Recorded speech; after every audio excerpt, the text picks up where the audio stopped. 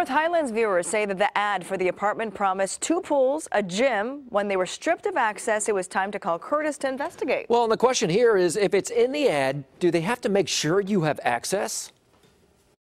So this is um, our dirt pool. A far cry of what was shown in the ad for Sierra Village Apartments. I was like, that's nice. Two pools, a gym, basketball courts. Since moving in, the pool in this picture is now filled with dirt.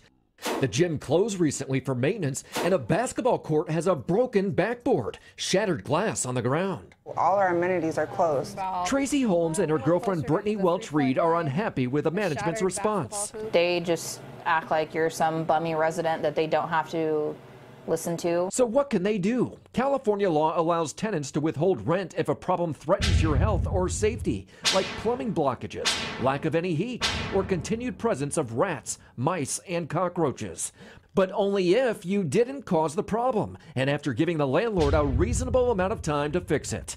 Closed swimming pools, gyms, or basketball courts, however, are not listed. He has a duty to repair. Attorney Mitch Abdullah says if renters don't have access to amenities like a pool promised when moving in, it's violating a contract, and they should get a discount or be able to break their lease. But she's not getting the benefit of her bargain, and she's not able to use that pool. But the apartment complex sees it differently, saying the amenities are something the owner provides free of charge, but can sometimes be closed when there are safety concerns.